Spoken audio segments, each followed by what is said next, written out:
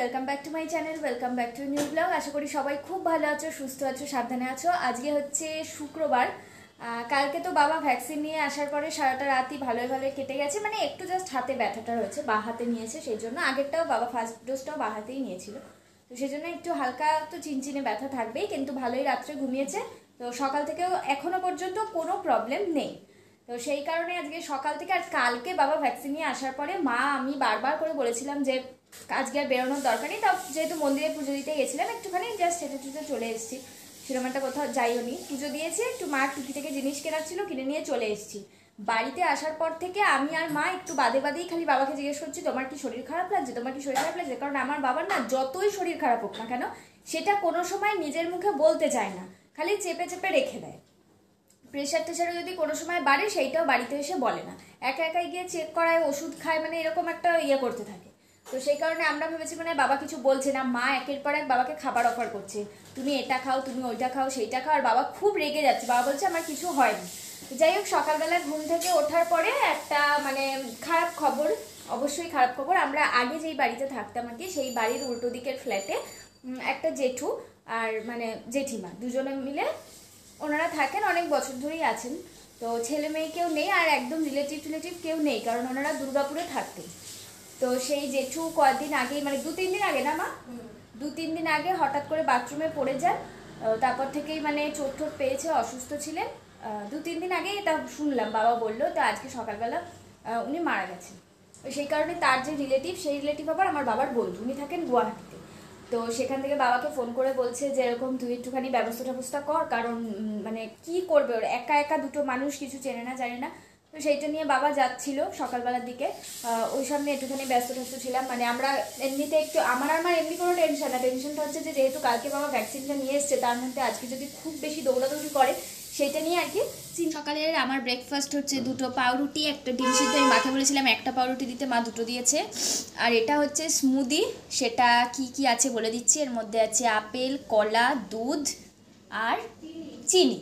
ঠিক আছে, এই দিয়ে একেবারে মা মিক্সিতে পেস্ট করে স্মুদি বানিয়ে নিয়েছে। বেলা ঘুম থেকে উঠে যাই যদিও তাড়াতাড়ি, আমার সকালে ব্রেকফাস্টটা কোনো দিন একেবারেই খেতে ইচ্ছা করে না। এটা স্কুল থেকে শুরু। স্কুলে যাওয়ার আগেই বাবা মানে ধরো বাজারে যদি যায় আগেই তো চলে আসতো আমি স্কুলে বেরোনোর আগে। মাছ টাছ সব কিছু এনে বাবা এমন একটা ভাব করতো, তখনই তোকে মাছটা ভাজা খেয়ে যেতে হবে। আর আমি খেতে চাইতাম না, এই নিয়ে মা আর বাবার মধ্যে খুব খিচখিচ হতো। মা খালি বলতো, "আগে- আরে আমি তোকে দিতেই চাই, ও যদি না খেতে চাই আমি কি করব?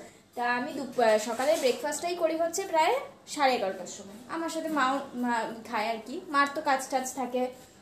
যতই বলি না কেন, আগে খেয়ে নেবে, মা খেতে চায় না। তো সেই কারণে ব্রেকফাস্টটা করলাম আর এত ভারী ব্রেকফাস্ট হয়ে গেছে। বারবার করে তোমাকে বললাম যে একটা পাউরুটি দাও। জোর করে মা দুটো পাউরুটি দিয়ে দিল। এখন আমার মনে হচ্ছে আমি যেন বিয়ে বাড়ি খেয়ে উঠেছি, দুপুরবেলা আর না খেলেও চলবে।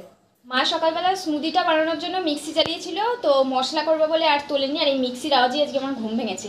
আজকে রান্না হবে হচ্ছে না, পরপর দেখাই আলু বরবটি ভাজা। এদিকে হবে গাঠি কচু, আলু দিয়ে ডিমের ঝোল মানে কষা কষা আর কি। তার জন্য এখানে আদা, রসুন, পেঁয়াজ টমেটো কাঁচা লঙ্কা সব কিছু কেটে রেখেছে। মা মশলা এদিকে হচ্ছে ডিম সিদ্ধ হচ্ছে হয়ে গেছে অলরেডি আর এখানে এখানে ভাতের জল তো এটা? ভাতের জন্য জল মানে এই যে এখানে চাল ভিজিয়ে রেখেছে। এ বাবারে কি টাইট এটা। বার্থডের জন্য যা যা লজেন্স ক্যাডবেরি চকলেট আনা হয়েছিল সেগুলো যেমন তার তেমন ধরা রয়েছে। বাবা মনে একটা এক্লেয়ার্স খেয়েছে না? বাবা একটা এক্লেয়ার্স খেয়েছে। কালকে রাত্র থেকে মা বলছে কিরে চিট বাদামগুলো বললি নাকি খাবে? আমি বললাম দাঁড়া এগুলো তো প্যাকেটে আছে নষ্ট হবে না। এগুলো রয়েছে লজেন্স ইয়েগুলো ক্যাডবেরিগুলো মা ফ্রিজে ঢুকিয়ে দিয়েছে প্লাস এই যে বিস্কুটটা রয়েছে এগুলো এখনও খোলাও হয়নি খাওয়াও হয়নি। একটুখানি খিদেটা বাড়িয়ে নিই তারপরে বিকেলবেলা করে খাব। আর মা এখানে এখন ঠাকুরের বাসন মাজছে। এদিকে করছে। কি করছ মা? ডিমের ঝোল? গাঠি কচু আলু দিয়ে ফার্স্ট টাইম গাঠি কচু আলু দিয়ে ডিম। কষাও না ঝোলও না। বাবারে। ডিমটা দেখো ভাজা কিছু বানিয়ে রয়েছে মা এখানে এখন আমাদের জন্য লাঞ্চ রেডি করছে। আজকে লাঞ্চ মেনু কি আছে? আজকে একবার বলেছি। আর মেনুতে বসে দেখি তো অন্যরকম মেনু হয়ে গেছে কচুর তরকারি আদা জিরে দিয়েও করা যায় পেঁয়াজ রসুন দিয়েও করা যায়। একই যখন ওই একদম ডিমের মধ্যে গাঠি কচু আলু দিয়ে একবারে ঝোল। আচ্ছা এটা এটা কি যেন ভাজা? ভুলে গেছি। বরবটি। বরবটি আলু ভাজা গাঠি কচু আলু ঝোল, আর কি সুন্দর একটা গন্ধ বেরোচ্ছে কিসের গো? দাঁড়াও আমার জন্য একটু ফাটা ডিমটা দেবে গো। এটা? এইটা দাও এইটা। ডিমগুলো তো পুরো হাঁসের ডিমের মতন করে সিদ্ধ করেছি। বেশ ভেতরের নরম কুসুম। আজকে লাঞ্চ মেনু ভাত বরবটি আলু ভাজা গাঠি কচু আলু দিয়ে ডিমের কষা আর এখানে আছে গন্ধরাজ লেবু। আজকে সকালবেলা বাবাকে বলে আমি গন্ধরাজ লেবু আনিয়েছি। কি সুন্দর গন্ধ বেরোচ্ছে।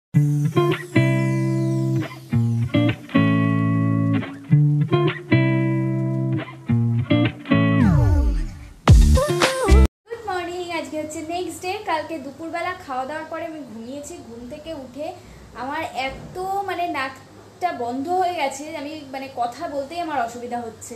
তারপর আমি কিছুতেই ঠিক হলাম না। আগের দিন এরকম হয়েছিল, তোমাদেরকে বলেছিলাম তো তারপর দেখলাম একটু পরে একা একা ঠিক হয়ে গেছে।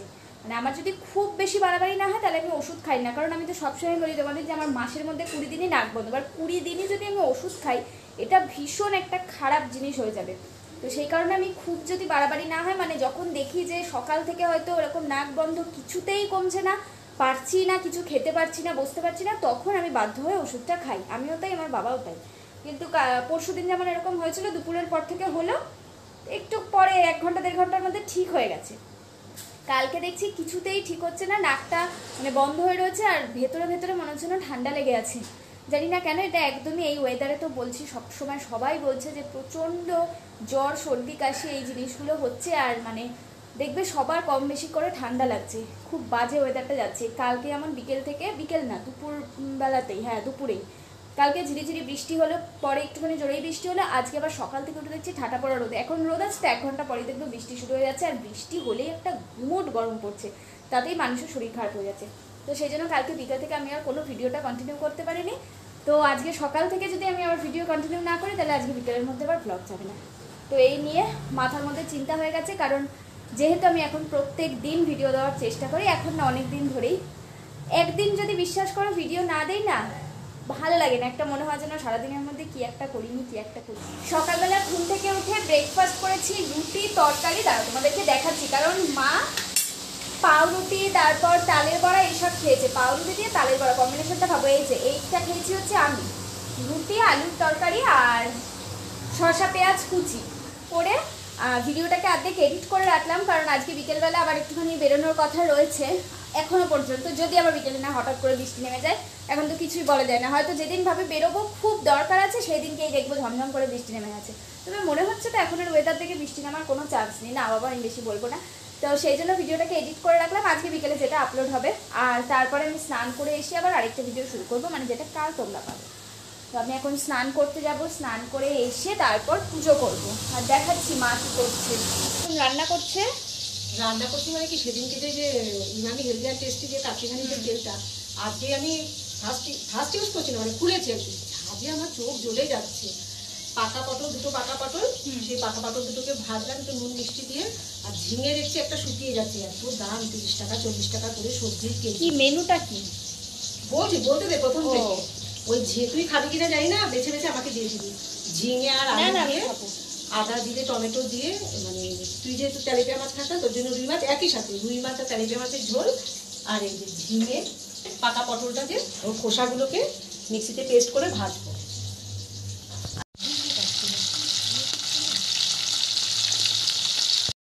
গেছে তেলেপিয়া মাছ খাই না মানে কি বলতো? এই যে দেখছ বড় তেলেপিয়া এগুলো খাই না। আমি একদম ছোট্ট ছোট্ট তেলেপিয়াগুলো খাই। আর মশলা পেস্ট করা হয়ে গেছে আদা জিরে টমেটো কাঁচা লঙ্কা। আলুগুলো যেহেতু চন্দ্রমুখী ওই জন্য বড় বড় করে কেটেছি এই একেবারে খটখটে রোদ উঠে গেছে এই রোদটাই যেন থাকে। আমি না রোদ ভীষণ ভালোবাসি।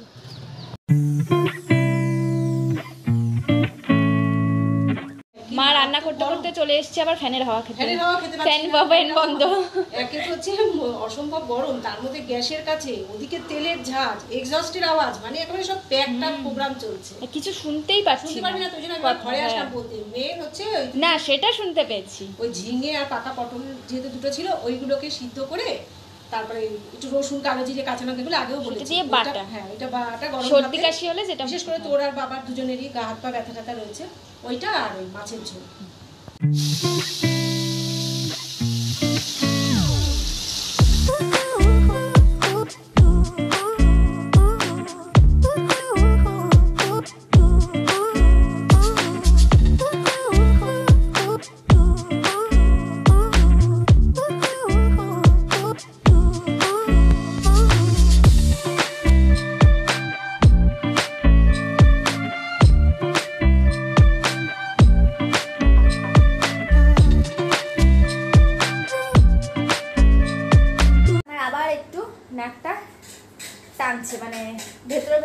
ঠান্ডা লাগা রয়েছে।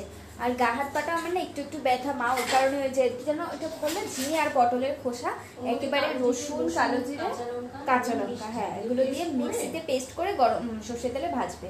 সেই ভাজাটা দিয়ে খেলে অনেকটা মানে ভালো লাগে বেশ খেতে, খুব ভালো লাগে এটা। আর এমনিতে আগে মানে যখন আমি স্কুলে টুলে যেতাম, তখন যদি ঠান্ডা লাগতো বা কিছু খেতে যেতে ইচ্ছে করতো না, তখন মা কী দিত বলতো? ওই রসুন, পেঁয়াজ ওইটাই ভাজতে তো? শুকনো লঙ্কা একটুখানি ভেজে তার মধ্যে যদি ডিমের ভুজিয়া করে গরম ভাত খাও, দেখবে এটা খেতে দারুণ লাগে। আমার তো খুব ভালো লাগে। না না, বিকেলে খেতে হবে না। মাছ খাচ্ছি, আবার বলছে ওইটাই খাব। সব কথা বাটা মা একবারই আমাকে খাওয়াবে। আমার কথা বলতে না, খালি কথাটা আমার নাকে নাকে বলে যাচ্ছে। ভেতরে ভেতরে একটা ঠান্ডা লেগেছে, আমাদের সবারই তাই। আর মার ওদিকে আবার গ্ল্যান্ড ফুলে একেবারে কিছু গিলতেই পারছে না, মা ঢোকই গিলতে পারছে না, এতটাই অসুবিধা হচ্ছে। ওষুধ কালকে রাত্রেও খেয়েছে, আজকে সকালবেলাও টিফিনের পরে একটা খেলো, তা আবার বলেছে যে যদি না কমে, তাহলে আবার একটা খেয়ে নেবে। মার এটা একেবারে ছোটোবেলাকার রোগ, একদম ছোটোবেলা থেকে, টনসিলের। তো চলো, আজকের ভিডিওটা তাহলে এখানেই শেষ করি, কারণ এখন আমি স্নান করতে যাব। স্নান করে পুজো করে আবার একটা নতুন ভিডিও স্টার্ট করব। তো এটা যদি এখানে শেষ না করি, আমি আবার তাহলে পরের ভিডিওটাকে স্টার্ট করতে পারব না। আমি এতক্ষণ যেই যেই ফাইলগুলো হয়ে যাচ্ছিল, সেগুলোকে অলরেডি এডিট করতে শুরু করে দিয়েছি। জাস্ট এই একটা দুটো লাস্টের ফাইল আছে, এগুলোকে এডিট করলেই হয়ে যাবে। তাহলে আজকের ভিডিওটা এই অবধিই রাখছি। যদি ভালো লাগে লাইক শেয়ার কমেন্ট করো। আর যারা চ্যানেলটা সাবস্ক্রাইব করেনি, তারা তাড়াতাড়ি করে সাবস্ক্রাইব করে দিও। আজকের মতো টাটা। বলতে যাচ্ছি টাটা গুড নাইট প্রত্যেকদিন যেহেতু রাত্রিবেলা শেষ করি না হ্যাঁ আমি বলতে যাচ্ছি আজকের মতো টাটা গুড নাইট তোমার ভাবলাম এখন তো পুনে একটা বাজে। সত্যি তাই। গুড আফটারনুন তো চলো, আজকে টাটা, দেখা হচ্ছে আবার নেক্সট ভিডিওতে